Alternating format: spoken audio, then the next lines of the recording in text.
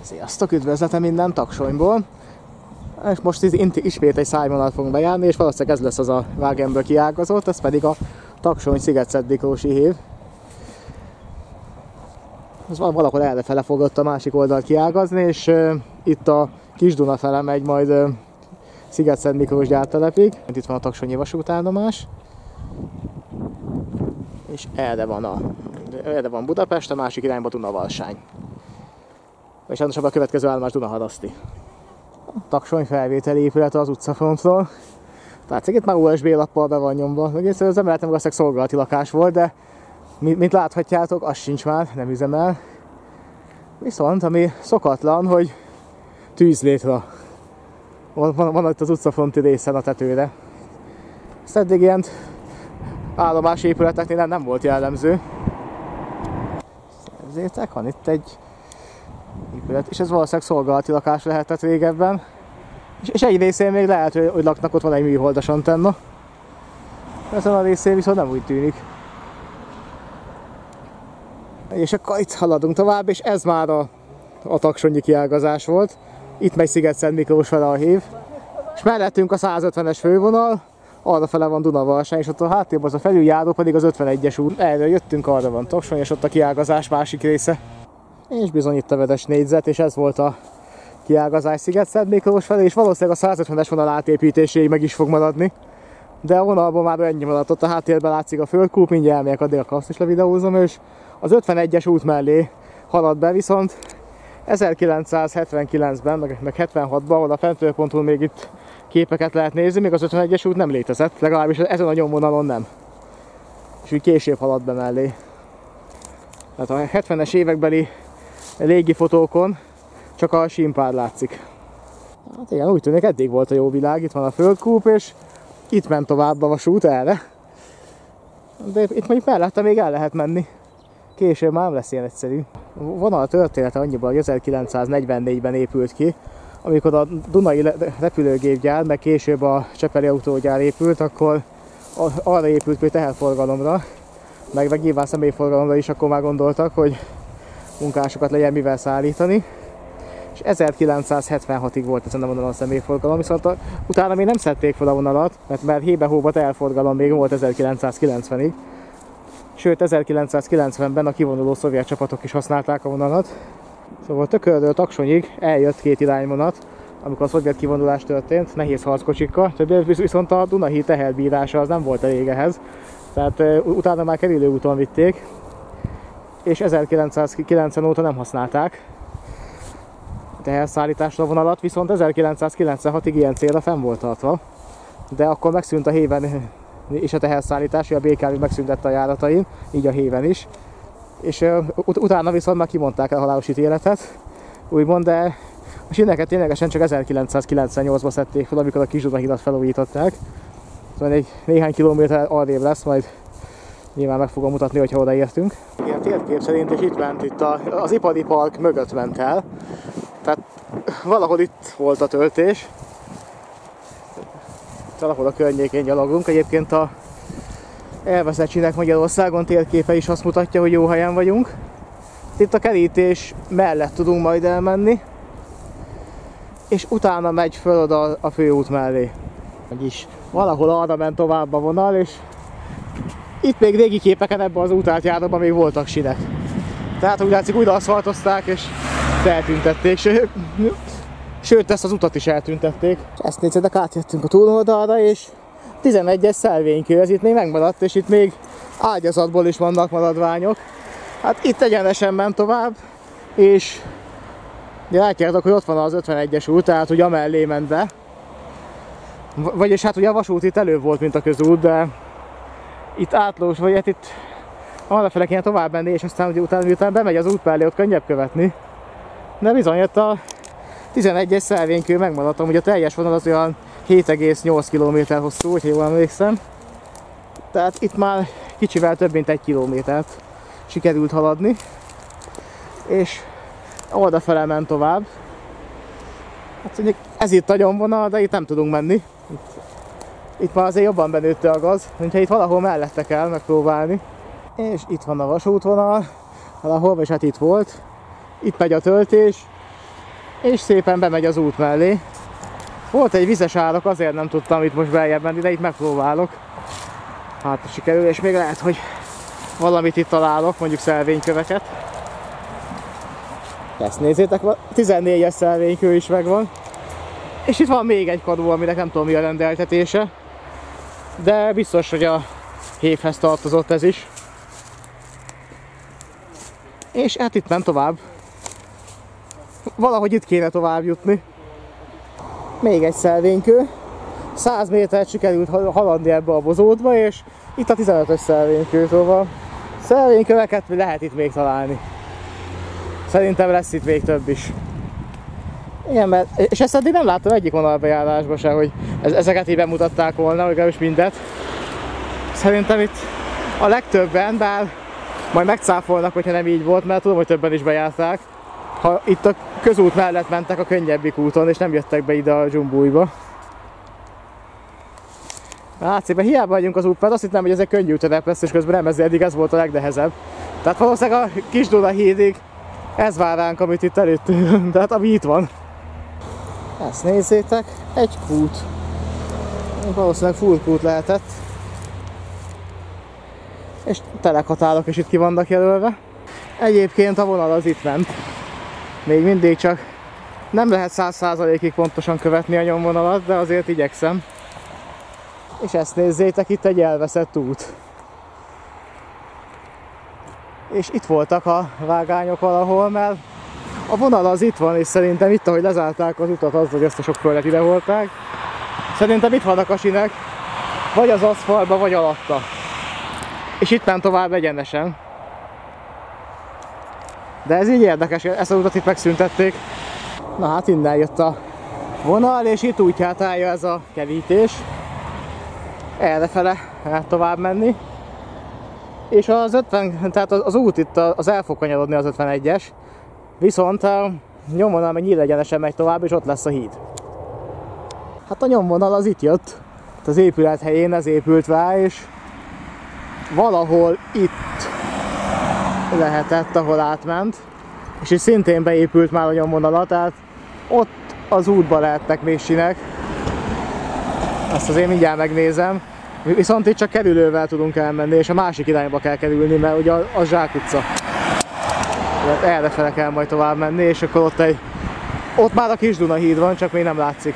Na, itt ment a vágány, és ez egy áteresz volt a vágánynak, és itt volt a nyomvonal. Hát itt még lehet, hogy vannak sinek az aszfalt alatt. Bár szerintem nem megy az ott, biztos, hogy aszfaltoztak. És itt értünk vissza a nyomvonalra, itt megy végig, és itt ment fel a kis Dunahídra, és reméljük ezen az ösvényen föl lehet menni. Mert még biztos nem fogok visszamenni akkor se, ha nem, hát ez átmászok ezen a korláton, és akkor úgy megyek, mert ezen az oldalt van a gyalogjárda a hídon, azt már megnéztem. Úgyhogy gyerünk tovább. Itt a töltés, és mutatom mindjárt, hogy itt ment fel a hídra, annó, és itt a sín az középen ment, erről majd vágok be ide fentről pontos képet, itt több is van a hídról. 1998-ban újították fel ezt a hidat, a vágányokat is akkor szedték föl. Egyébként pont ennek a kis Duna hídnak, mármint a régi vashídnak, ami itt volt, annak a szűk keresztmetszete volt az, hogy nem használták csak kétszer 1990-ben teherszállításra a vonalat. Ugye akkor még minimális állagmegóvó munkát is csináltak, mikor a kivonuló szovjet csapatok igényelték, hogy ugye a tököli reptérdő taksonyék, ez volt a legrövidebb út, és erre fele szerettek haladni, és az első két transport az meg is érkezett, viszont kiderült, hogy a híd teherbírása az nem megfelelő erre, úgyhogy onnantól a kerülő úton ment. És a másik érdekesség még, hogy a fő vonali vágányúgyban annyira megrongálódott, hogy arra nem lehetett vinni, vagy nem értem megcsinálni, ezért az autógyár iparvágányán keresztül zajlott ez a utolsó két transport. És itt van egy emléktáblája is a hídnak. De amúgy a, a hídon keresztül átjött erre az oldalra a vágány, és itt ment valahol, ahol most állok. És arra fele haladt tovább. Viszont ezt nézzétek, betonaljak. Félig beásva a talajba, de betonaljak. Tehát itt jött a vonal, és arra ment tovább. Itt még egy érdekesség, de ez, ez úgy tűnik, mintha itt lett volna a jelző, viszont tehát emlékszem Beski Andrásnak a 97-es videójában, hogy ez már akkor is itt volt ez a csonk, És, és akkor még állt itt a jelző valahol ezen a környéken, de annak az alapját nem találtam meg. Viszont itt még látszanak a betonaljak helyei. Tehát itt valamilyen követhető, hogy itt ment a nyomvonal. Látok, a vágány az itt ment valahol a Kakukfi utca helyén. És itt, itt egy ilyen nagyjából így közelített ide be a parkolóból. És innen már egyenesen a Kakukfi utcán a, a Holcsepeli autógyárig, ahol szintén van egy kiágazás, majd fentől.hu, szintén van róla kép, majd bevágom ide. Vagy, vagy ha odaértünk, akkor majd inkább oda. Tehát ott látszik, hogy be, bement egy, egy iparvágány az autógyár területére, és úgy csatlakozott be az állomásra, viszont volt egy másik, amelyik a nagyjából a mostani József Attila telep megállóhelynél csatlakozott be, és ugye ott épült, az, arra már csináltam videót, a Kék Tó nevű megálló, ami hivatalosan soha nem készült el, viszont két évig, ameddig meg nem szüntették véglegesen a taksonyi hévek ott megálltak. Azt már, hogyha oda, odaérünk, akkor meg fogom mutatni. Esetleg ez tartozhatott még a, az egykori vasútvonalhoz, ez egy távíró pózna. És ez pontosan, hogy ezt el tudom képzelni, hogy, hogy ahhoz tartozott, de nem vagyok benne száz százalékig meggyőződve. És viszont a vonalak mentén ugyanilyen távíró póznák szoktak lenni. És újabb bizonyítékok, hogy, hogy, hogy jó helyen keresem a vasutat, bizony ezek betonaljak. Azt amikor felszedhették a sineket, akkor hagyták itt. Szerintem még egy-két kerítés, meg kocsi bejáróba is itt lehet még látni majd betonaljakat. Arra ilyenkor leszoktak csapni. Egyébként az, az az érdekesség még, hogy 1976-ban, amikor a vonalat megszüntették, akkor még ez a környék nem volt beépítve, hanem itt, itt, itt csak pusztaság volt mindkét oldalon. Tehát akkor valószínűleg akkor okkal szüntették meg, hogy nem volt rá akkor a kereslet, meg nem volt nagy forgalom, mert tényleg itt nem volt. Most viszont, hogy, hogy beépült a környék, most meg már szükség lenne rá. Tehát ez is úgy járt, mint a 41-es villamos, amit Kamara erdőnél elvágtak, hogy ha a budaörsi hurkot meghagyták volna, akkor most milyen jól jönne, hogy odaépültek a bevásárlóközpontok, meg Budaörs is arra fele terjeszkedett. Csak hát ez sajnos ez így működött, hogy akkor sem láttak a jövőbe. De, de most mondjuk szükség lenne, csak most már nem lehetne visszaépíteni, mert annyira beépült a környék, hogy nem férne el. Meg ezt már nem engednék meg, hogy így az utcán menjenek a vágányok. De hogyha akkor megmaradt volna, akkor viszont biztos, hogy mai napig járhatnának rajta a vonatok.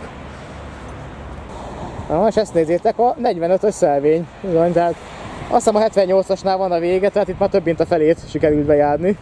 És ugye egy-két ilyen 100 méterenként voltak egykor a szelvények, és van, amelyik meg is maradt. Na ezt nézzétek.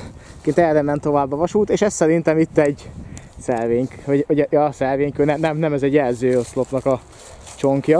Hát így jobban megnézve nem biztos, ma azt hittem, hogy csak felborították, de ez egy jelző alap. És egyébként itt erre ment tovább egyenesen és már majdnem a, az egykori autógyárnál vagyunk.